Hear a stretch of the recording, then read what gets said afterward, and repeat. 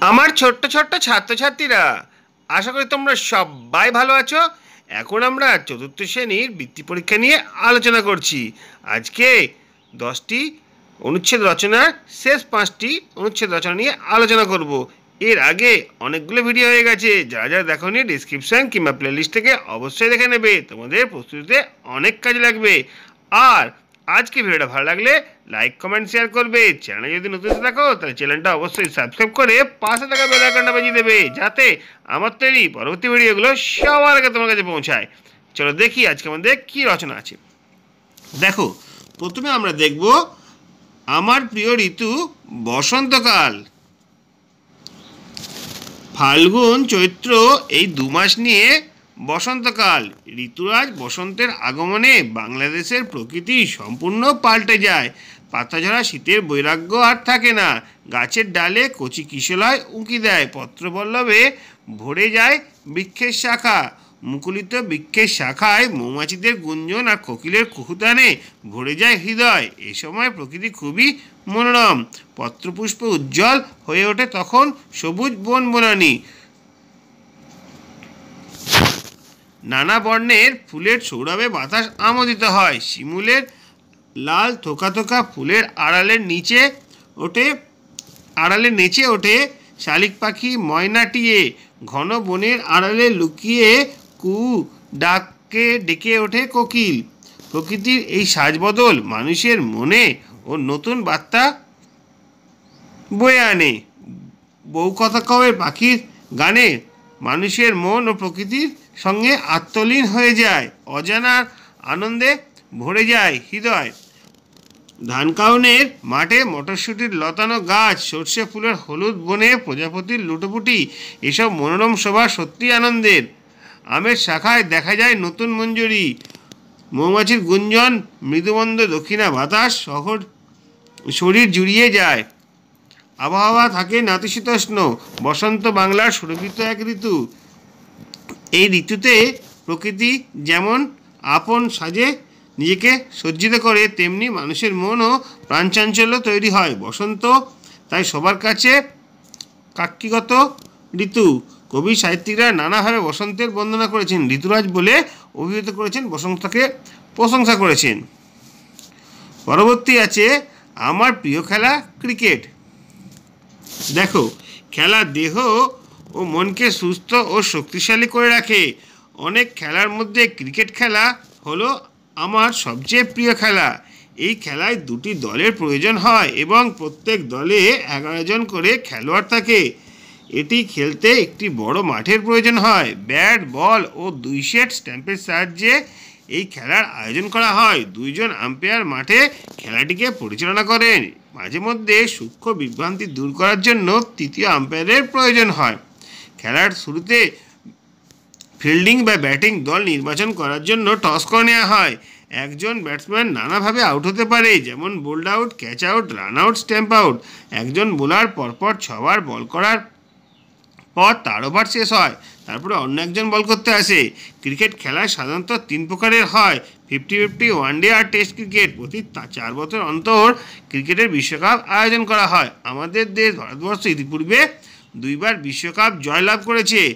বর্তমানে এই খেলাটি খুবই জনপ্রিয়তা লাভ করেছে। এই সকল কারণে এটি আমার প্রিয় খেলা। পরবর্তী রচনায় চলে যায় পরবর্তী রচনা হচ্ছে, আমার দেখা একটি মেলা। দেখো, মেলা এ দেশে সাংস্কৃতিক জীবনের এক অন্যতম অঙ্গ। আর মেলার জগতে মিলন পিপাসী সভ্যতার কনিষ্ঠতম সন্তান হলো বইমেলা, যেখানে লেখক, পাঠক, প্রকাশক এই তিনজনের ভাব প্রকাশের মাধ্যমে সৃজনশীলতা সর্বোচ্চ স্থানে পৌঁছে যায়। প্রতি বছর নয় এবছরও উৎসব ময়দানে বইমেলার আয়োজন করা হয়ে থাকে। আমি আমার কয়েকজন বন্ধুদের সাথে সেই মেলায় উপস্থিত হই। বইমেলায় পৌঁছে আমি জ্ঞান সমুদ্রে নিজেকে হারিয়ে ফেলি। কত জ্ঞানী গুণী মনীষীদের নীরব ভাষায় এখানে কথা বলছে তা অনুভব করতে পারি। এখানে অতীত, বর্তমান, ভবিষ্যৎ মিলেমিশে একাকার হয়ে গেছে। মানুষের সুখ, দুঃখ, হাসি, কান্না, চাওয়া পাওয়ার কাহিনী হিসেবে। এছাড়া প্রেম, ভালোবাসা, সাহিত্য দর্শন, সাহিত্য, ইতিহাস দর্শন, সাহিত্য বিজ্ঞান সব কিছুই এই মেলাকে সমৃদ্ধ করে তুলেছে। মেলায়, বই ছাড়াও নাট্যাভিনয়, গান বাজনা, সাংস্কৃতিক অনুষ্ঠান, নানা বিষয়ক বক্তৃতা, সেমিনার, বাচ্চাদের আনন্দ লাভের নানা উপকরণ খাওয়া দাওয়া স্টল যথেষ্ট পরিমাণে ছিল। মেলায় সেই দিনের অভিজ্ঞতা আমার কাছে স্মরণীয় হয়ে থাকবে। পরবর্তী যে রচনা নিয়ে আমরা আলোচনা করব, সেটা হচ্ছে গৃহপালিত পশু। দেখো, কীভাবে এটা লিখতে হবে? তোমাদের সামনে হাজির করছি। প্রত্যেকটি দেশের কাছে গৃহপালিত জন্তু একটা সাধারণ বিষয়। আমাদের দেশেও বিভিন্ন পরিবারের মধ্যে এই শখ দেখা যায়। বিভিন্ন প্রজাতির জন্তুকে ঘরে পালন পোষণ করা হয়ে থাকে। প্রত্যেকে তাদের নিজের রুচি অনুযায়ী জন্তুদের নির্বাচন করে থাকেন। গৃহপালিত জন্তুদের গুণে শেষ করা যায় না। তোতা পাখি থেকে শুরু করে পায়রা, কাকাতোয়া এবং ময়ূর সবই গৃহপালিত পক্ষী বিশেষ। এছাড়া গৃহপালিত জন্তুর সারিতে রয়েছে কুকুর, বিড়াল, ঘোড়া, খচ্চর, ঘটকি আছে। তারপরে গরু, ছাগল, মহিষ, খরগোশ, হরিণ, কাঠবিড়ালি, বেজি সবই গৃহপালিত জন্তুর মধ্যে পড়ে। কিন্তু প্রতিটি পরিবার নিজেদের পছন্দ অনুসারে জন্তু পোষে। আমাদের দেশে সাধারণত কুকুর পোষার প্রচলন আছে। কুকুর প্রচণ্ড বিশ্বাসী প্রাণী। এই কারণেই অনেকে গৃহপালিত জন্তুর মধ্যে কুকুরকে সবচেয়ে বেশি গুরুত্ব দিয়ে থাকে। কুকুর রাতে আমাদের সম্পত্তি পাহারা দেয় এবং চোদ্দের হাত থেকে তা রক্ষা করে। তারা খুব সুন্দরভাবে খেলতেও জানে, খেলার ব্যাপারে প্রৌঢ়ায় তাকে প্রশিক্ষণ দিয়ে থাকে। অনেকে আবার বিড়াল ও বেজিও পুষে থাকেন। বিড়াল শুধুমাত্র ইঁদুর মারে তাই নয়, অনেক সময় এটি আমাদের বিনোদনের মাধ্যম হয়ে দাঁড়ায়। কিন্তু একই সঙ্গে তারা খাবার দাবার চুরি করে খায়। ময়ূর হলো ভারতের জাতীয় পাখি। ভারতের বেশ কিছু স্থানে যথেষ্ট পরিমাণে ময়ূর দেখা যায়। বালকময় স্থানে প্রচণ্ড খুশিতে থাকতে পারে। ময়ূর খুবই সুন্দর পাখি। রাজস্থানের বেশিরভাগ পরিবারই ময়ূর পুষে থাকে। গরু এবং মহিষদের ভারতের অর্থনীতিতে যথেষ্ট পরিমাণে সাহায্য করে থাকে। এমনকি ধর্মীয় দিক থেকে ভারতবর্ষকে গরুকে পুজো করা হয়। হিন্দুদের কাছে গরুকে গোমাতা রূপে পরিচিত। গরুর দুধ খুবই পুষ্টিকর। এর বিস্তার জ্বালানি এবং সার হিসেবে ব্যবহার করা হয়। গো চোনা থেকে ওষুধ প্রস্তুত করা হয়। ভারতে ঘোড়া খুবই পরিচিত একটা জন্তু। তারা খুব দ্রুত দৌড়াতে পারে বলে ঘোড়ার সময় তারা যানবাহন হিসেবে কাজ করে। প্রাচীন যুগে যখন ট্রেন বা প্লেনের আবিষ্কার হয়নি, তখন যুদ্ধের জন্য ঘোড়া ছিল অপরিহার্য অংশ। প্রতিযোগিতা ঘোড়া পালন করে। গ্রামের সম্বন্ধ ব্যক্তিরা এক স্থান থেকে অন্য স্থানে যাওয়ার জন্য ঘোড়াকে ব্যবহার করে থাকে। এছাড়াও এখানে খচ্চর গাধাও দেখা যায়। এরা জিনিসপত্র বহন করার কাজ করে। তারা বোঝা বহন করার পশু হিসেবেই পরিচিত। পরে যে রচনাটা দেখব, সেটা হচ্ছে, একটি গাছ, একটি প্রাণ। যুগ যুগ ধরে গাছের সঙ্গে মানুষের নিবিড় বন্ধন আবদ্ধ। প্রাকৃতিক ভারসাম্য বজায় রেখে গাছপালার পৃথিবীর বুকে রচনা করেছে। ছায়া সুনিবিড় শান্তির নীর। বৃক্ষের প্রতিটি, প্রতি মানুষের কৃতজ্ঞতার শেষ নেই। তাই কখনো বৃক্ষকে মানুষ বন্দনা করেছে, ভক্তি ভরে কখনো গ্রহণ করেছে বন্ধুরূপে। যে গাছ মানুষের জীবনে সঙ্গে অঙ্গাঙ্গিভাবে জড়িত, সেই গাছকেই তারা হত্যা করার জন্য মানুষ লেগে, উঠে পড়ে লেগেছে। বাসস্থান বা কলকারখানা তৈরি করার জন্য।